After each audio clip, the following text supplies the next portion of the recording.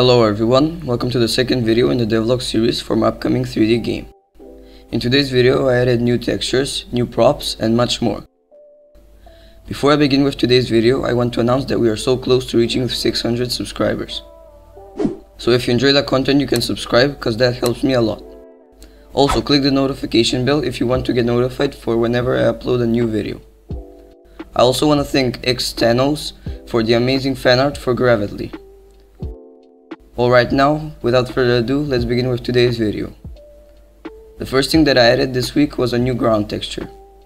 The aim for the first level is for the character, or should I call him by his original name, the Bean, to start at a factory. This might sound weird for you guys, but for me it doesn't cause I have all the lore planned already. So yeah, here's the new ground texture. In the previous episode I forgot to mention that I added a reload animation. Now, after you shoot 10 bullets, a simple animation will play. I added reloading to make the game more challenging and balanced. The animation also works for the pistol. After the reloading animation, I added a new enemy. The new enemy will follow you like the first enemy, but every 2 seconds it will also shoot. I implemented the shooting with raycasts. As you can see, Jesus Christ, I didn't know Shroud was playing my game.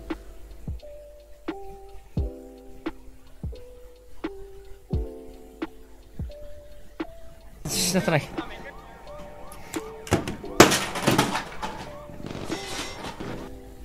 Yep, as you can tell, Raycast makes the enemy not miss a single bullet. That's why I made the enemy shoot prefab so that the player has a chance to dodge the bullets. I also added an enemy that shoots with an AK. The bullets from the AK move way faster than the bullets of the pistol so that it can be more challenging. After that I added walls with a different texture so that the level looks more like an actual factory. The map will be split into more rooms, in each room you will have enemies. After I added the walls I added different props to the map.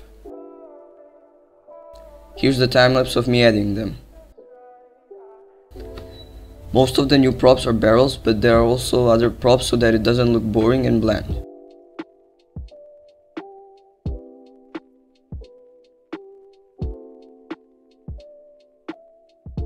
After that I added a door that actually functions.